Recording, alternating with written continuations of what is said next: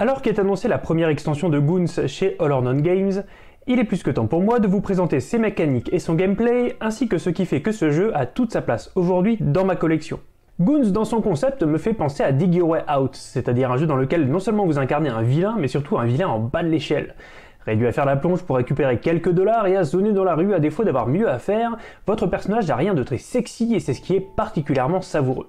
Le but du jeu est d'obtenir le plus de points de victoire possible, obtenus principalement en se mettant au service de grands méchants, psychopathes et autres chefs de gang que vous devrez aider dans la réalisation de leurs plans. Votre plateau joueur est composé de la carte du personnage que vous avez choisi, avec son pouvoir dont nous reparlerons plus tard, ainsi qu'une grille sur laquelle chaque ligne correspond à un tour. Une partie se compose de 3 manches, durant lesquelles vous allez effectuer 4 tours, ou 5 si vous jouez à 2 joueurs. Vous êtes également doté de plusieurs jetons énergie correspondant aux efforts que vous fournissez, et de plus petits jetons correspondant à votre influence dans les rues. Sur le plateau principal se trouvent les 4 quartiers de la ville, chacun hébergeant un méchant aléatoire, et au centre la rue, avec les cubes d'action qui vont vous servir à progresser dans le jeu. Chaque grand méchant ainsi que chaque quartier va posséder ses propres mécaniques, ses propres règles, et c'est un aspect qui peut faire peur dans un jeu censé être relativement rapide. Il y a beaucoup de choses à expliquer à un nouveau joueur avant de se lancer. Un tour est composé de deux actions, deux choix que vous allez devoir faire. D'abord, prendre un cube sur le plateau principal. Vous ne pouvez choisir que les cubes se trouvant dans les coins d'une grille, ou bien ceux qui sont adjacents à un emplacement vide. Les cubes noirs représentent des détritus et ne peuvent jamais être pris. Ensuite, placez ce cube sur un emplacement libre de votre grille joueur sur la ligne correspondant au tour actuel. Vous allez donc vous retrouver avec une combinaison de couleurs, celle du cube que vous avez pris et celle de la case sur laquelle vous l'avez posé. Cela représente les deux actions que vous pourrez faire ce tour. Chaque couleur correspond à un quartier et vous donne le choix entre trois actions. D'abord, une action de quartier. En rouge, au dojo, vous allez récupérer un jeton énergie. En jaune, au diner, vous allez faire la plonge pour gagner un dollar. En vert, au supermarché, vous allez pouvoir acheter un des objets disponibles. En blanc enfin se trouve la boîte de nuit dans laquelle vous aurez le choix soit de déplacer un cube de la grille principale, un détritus qui vous bloque par exemple, soit de déplacer deux jetons énergie d'un plan à un autre, c'est-à-dire d'un grand méchant à un autre. L'autre action possible justement, c'est de participer au plan machiavélique d'un grand méchant.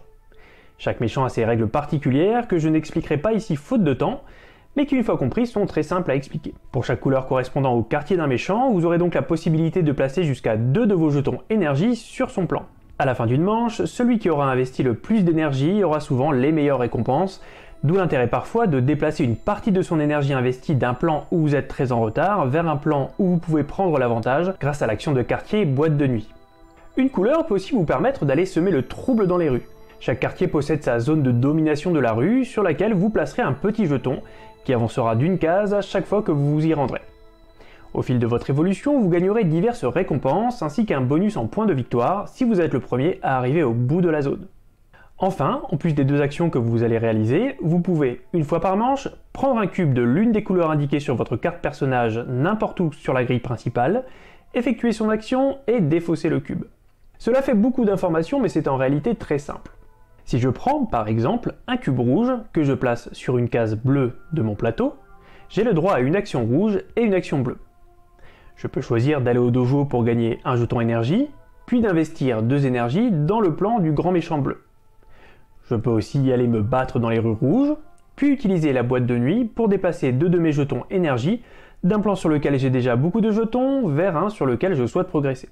Moon c'est plein de petites subtilités qui, une fois découvertes, le rendent éminemment stratégique. Par exemple, les jetons énergie utilisés pendant une manche sont perdus si le plan est un succès. Mettre énormément de jetons sur les plans pour être sûr de gagner au départ peut sembler alléchant, mais il n'est pas rare de se retrouver à court lors de la troisième manche, n'obtenant ainsi que peu de récompenses au moment le plus crucial.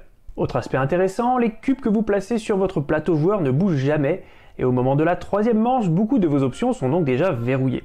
C'est d'autant plus essentiel que les cases non utilisées sur votre grille vont souvent vous permettre de gagner des points, et qu'il est paradoxalement très important de ne pas placer de cubes sur les cases de la couleur que vous souhaitez privilégier. À la fin de chaque manche, chaque méchant va proposer un nouveau plan, mais le plateau restera inchangé.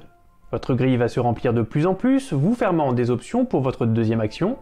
La grille du plateau principal, elle, va se vider et demander de plus en plus de réflexion et de stratégie quant au cube que vous allez choisir. À la fin de la troisième manche intervient le décompte des points, pendant lequel vous allez regarder votre domination des rues, la valeur de vos objets, l'argent, l'énergie qu'il vous reste, additionné aux points que vous aurez déjà marqués pendant la partie. Pouvant paraître lourd en règle de prime abord, Goons est pourtant un jeu rapide et très subtil dans lequel la victoire va se jouer à un cube près, à un placement d'énergie décisif. L'annonce de cette première extension est une excellente nouvelle puisqu'elle va permettre de varier les grands méchants sur le plateau, donc les petites mécaniques, les jeux dans le jeu proposés. C'était ma vidéo règle de Goons, j'espère qu'elle vous aura aidé à saisir les concepts du jeu. D'ici à la prochaine fois, je vous souhaite de belles parties et je vous dis à très bientôt